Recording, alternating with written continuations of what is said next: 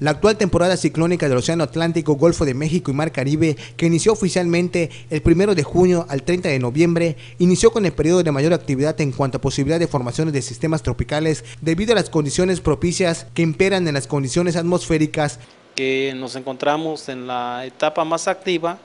dentro de la temporada de huracanes, por lo cual no debemos de confiarnos ni bajar la guardia, en virtud de que pues nos espera todavía lo que resta del mes de, agosto y gran parte del mes de septiembre donde la actividad este, ciclónica eh, se presenta con, con mucho mayor actividad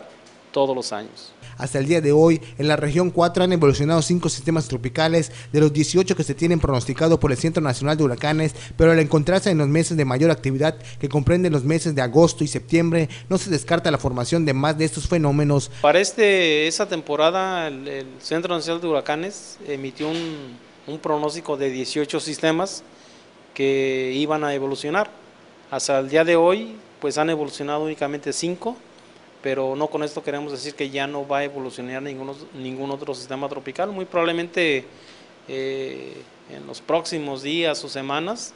eh, podría estar muy, activo la, la formación de sistemas tropicales. Detalló que las condicionantes para la formación de sistemas tropicales están presentes, sin embargo la interacción de otros fenómenos no han permitido hasta el día de hoy la formación de ningún huracán, aunque no descartó que en los próximos días pudiera estar formándose alguno de estos sistemas. Para Notivisión, José Palma.